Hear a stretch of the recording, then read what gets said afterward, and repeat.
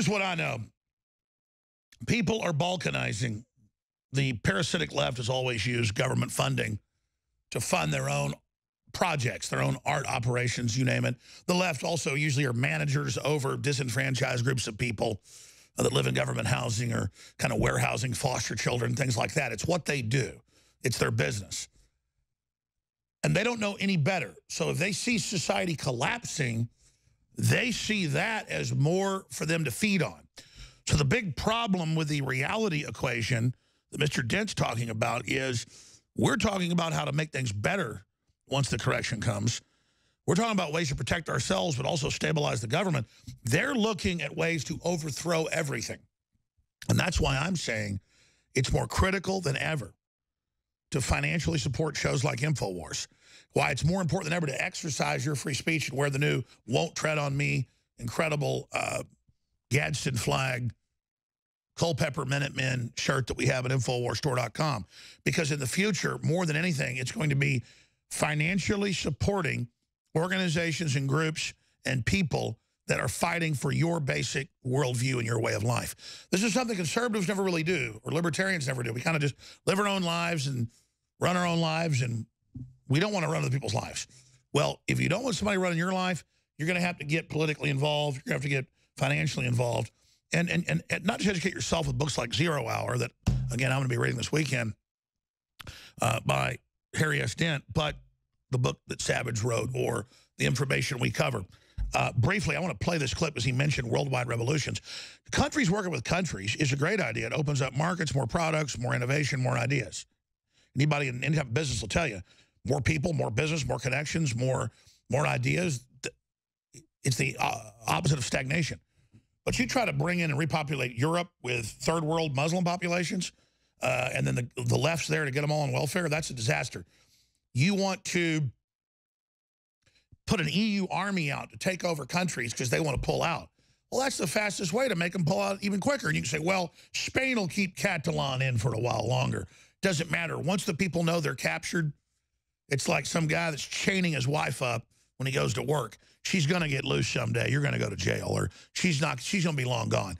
And we've we've reached that point where the left is trying. Who isn't even the left? Just people that feel like they're the left are there to dominate folks. It's not working anymore. So I want to ask Mr. Dent, historically looking at the charts, how this revolution fleshes out, how it could look. But he's predicted it. I predicted it. Ron Paul's predicted it. So many others have predicted it. The CIA people we've had on, like Steve Pieczenik had predicted it 10 years ago, that the EU would fail and things would break up. It's here. What does that mean as the central controllers push authoritarianism? Here is a clip of Nigel Farage, the fastest growing movement, not just in the UK that gave us Brexit, uh, but also in Europe, pointing out what's really going on. Here it is. Mr. Farage, two and a half minutes. Thank you. As Mr. Moscovici said at the start of this, the leak of all these papers and lists of people with offshore holdings has come about because of the Society of Investigative Journalists. But what's not been said this morning, and I think is relevant, is that the funding of these investigations came from one George Soros. Now, I say this at a time, I'm going to come back to so what, and it may have some personal interest for you as well. I say this at a time when the use of money and the influence it may have had on the Brexit result or the Trump election has reached a level of virtual hysteria. Just last week, the Electoral Commission in the UK launched an investigation to find out whether the Leave campaign took offshore money or Russian money. This came about as a result of questions asked in the House of Commons by one Ben Bradshaw, somebody linked to an organisation called Open Society. I just wonder when we're talking about offshore money, when we're talking about political subversion, when we're talking about collusion, I wonder whether we're looking in the wrong place. And I say that because George Soros recently gave Open Society, his organisation, which of course campaigns for free movement of peoples and supports supranational structures like the European Union, he recently gave it $18 billion. And his influence here and in Brussels is truly extraordinary. Open Society boast that they had 42 meetings last year with the European Commission. They've even published a book of reliable friends in the European Parliament. And there are 226 names on that list including yours, sir. I thought, I thought you'd find this interesting. We even had last week Mr. Verhofstadt lobbying on behalf of Mr. Soros at the Conference of Presidents in a battle that is going on with Viktor Orban, the Prime Minister of Hungary. If we're going to have a debate and we're, and we're going to talk about full political and financial transparency, well, let's do it. So I should be writing today to all 226 of you, asking some pretty fair questions. Have you ever received funds, directly or indirectly, from Open Society? How many of their events have you attended? Could you please give us a list of the meetings of all the representatives, including George Soros yourself? And I think this Parliament should now set up a special committee to look into all of this. And I say that because I fear we could be looking at the biggest level of international political collusion in history. And I've said this thousands of times. They change it to Russia because they're bringing in globalism. These multinational groups like TPP that literally do conquer us, they're scared, so they wanted to turn the investigation around. And now it's blowing up in their face. And now the EU army is announcing it's taking over. And one day after, five countries say they're ready to repel the invasion.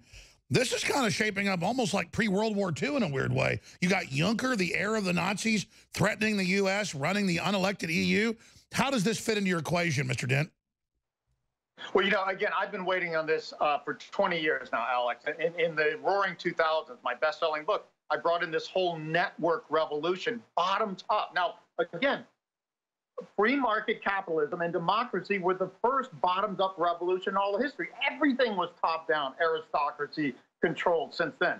This is deeper. We've got back down with central banks have taken over.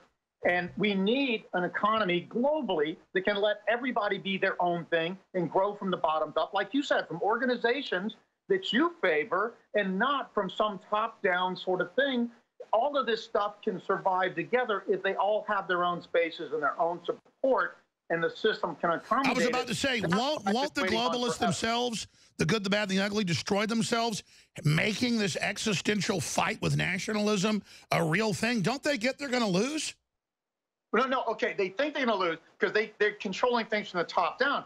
Bottoms up, say, look, the stock exchanges operate totally from the bottoms up not top down. And they only get bigger and bigger. You can have global and you can have bottom up. What we have now is global and top down, and that's the problem.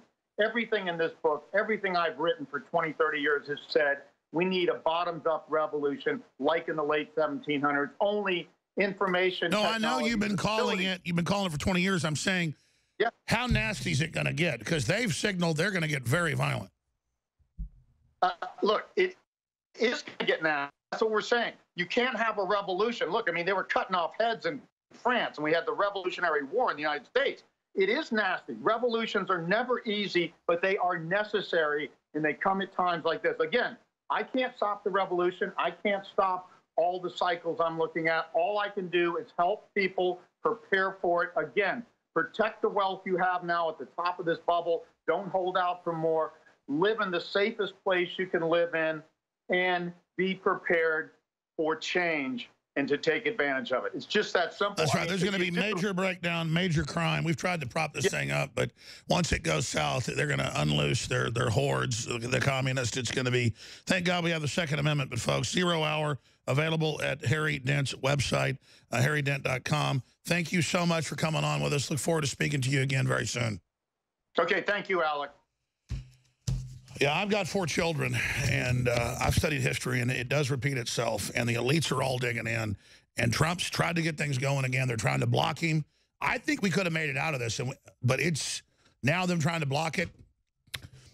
It's it's probably going to completely blow up, and when it does, folks, when it does, I just say prop it up as long as we can, because when it blows, I tell you, it's going to be bad.